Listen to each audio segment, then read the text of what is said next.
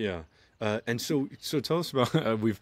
Uh, I probably should should uh, should have asked about more about dogs. So tell us about the hunting you do with dogs and how you hunt. You hunt both deer and boar with dogs. Yeah. So um, I guess, uh, like I was saying about the Nihonken being a bit of a versatile breed, you can technically hunt probably whatever you want. Um, there's uh, out of those six breeds, like I originally started hunting with the Kaiken, which is like a brindle. They're all brindle dogs. This this breed, the Kaiken, they're from the mountains uh, north of Tokyo, northwest, um, and they are actually pretty good bird dogs. Um, I sent one to a friend who was an upland hunter in the U.S., and he actually trained it to uh, hunt upland you know, like grouse and pheasant, things like that, it would retrieve to hand, and he actually had it mm-hmm. doing water retrieves and things like this as well. Um, so they're quite versatile. What I actually do with them is I'm mostly for the past uh, 15 odd years, um, that plus years that I've been hunting, I'm basically a boar hunter. We hunt wild boar. And I use, um, I try, I started hunting with the Kaiken, and then I moved from there into the Kishuken, which is another breed from the Kii Peninsula, which is a little bit further southwest in Japan from Tokyo. And then from the Kishu, I moved on to where now I have Kishu and Shikoku, which are from even further southwest, this big island called Shikoku, and they're like these mountainous dogs from that region. Mm-hmm. Yeah, I'd say they're particularly beautiful dogs, and if we were hunting them here, I think we'd have less of a problem with animal rights people because they'd be so distracted by how cute the dogs are. They don't even. It, it's unbelievable that they're these gritty, tough dogs. Uh, so you uh, were you at any point hunting uh, deer and boar with the same dogs, or were you keeping separate packs when you were doing that?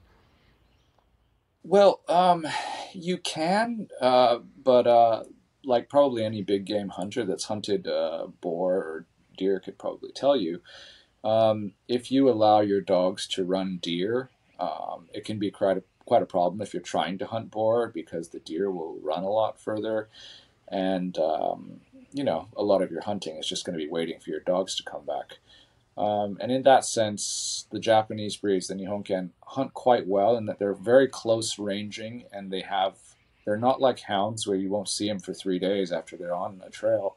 They're mm-hmm. very hot nosed dogs they're going to be back. Like my dogs, for instance, even if they were to run on a deer, they'd be back within like 20 minutes, so it's not the end of the world.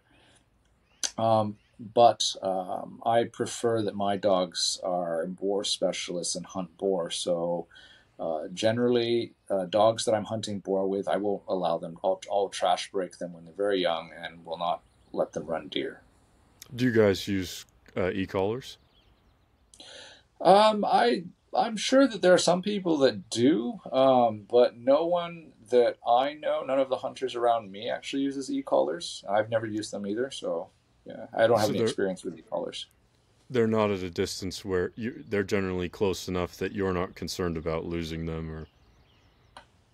Yeah, um, I think that. Uh, well, let's see. Um, you're not when I say trash broken. Like I've uh, I've uh, been in Australia as well, and, and I've seen experienced the hunting there.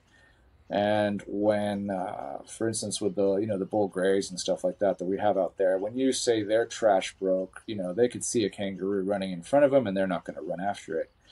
Mm-hmm. Um, the Japanese breeds, being a much more primitive type breed, they will that switch will kick in. Mm-hmm. Um, but for instance, my dogs, uh, someone remarked on that when I took them hunting with me, and I had a, one of my Kishu females that I use quite a bit now. And we had a, uh, a little herd of deer, you know, about six, seven deer came popping up onto the ridge. And my, our Kishu was right in front of me. And first, I wasn't sure what was coming out, so I was ready to shoot. The deer got up to the ridge and ran away from us. And my Kishu female looked, ran about 50 meters, realized they were deer, just turned around and came back, you know? Mm-hmm. And I didn't have to do an e-collar anything like that. She just knows that we're not after deer. And if she chases the deer, she's not going to catch them.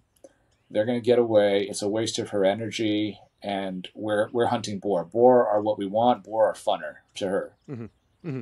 And, and, so describe the process for uh, hunting boar. You're running how many dogs? What's the style? How do the dogs hunt? I think a lot of American hunters who hunt pigs are probably more familiar with how they hunt in Australia with maybe running catch dogs or just a or bay dogs and catch dogs with uh, specific roles, but from the little we've talked, I think you're doing it a little differently.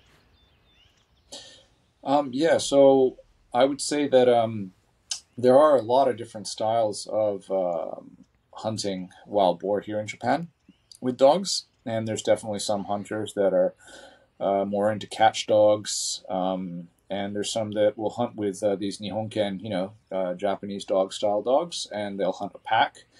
And I've seen packs of up to like 10 dogs run, and um, that's one way of doing it. Um, I think that um, uh, okay, the the way I was uh, taught by some of the the really famous old timers here in Japan, as far as boar dog hunting goes, is that um, if you're hunting uh, wild boar and you have a dog, if uh, the dogs and the boar are equal in weight, say you've got a 60 kilo boar that you're hunting, and the Nihonken, you know, it's generally about a 20 kilo dog, let's say a male. So if you're hunting a, one boar and you've got three dogs on it and they manage to stop it for you and you get it, that's kind of like okay they've passed the first level as far as a hunting dog goes but that's nothing special they should be able to do that mm-hmm. um, if you've got that 60 kilo boar and you've managed to do that with two dogs so they're actually um, you know if we're talking weight classes they're you know out outweighed outclassed they're at 40 kilos. That's that's like okay you've got something better than your average hunting dog there. Your pack's doing pretty good with two dogs.